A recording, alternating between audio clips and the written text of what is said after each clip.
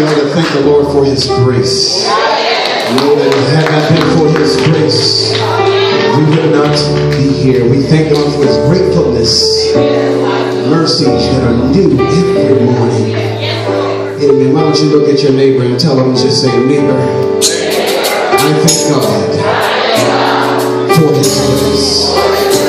Now come on and give God a praise.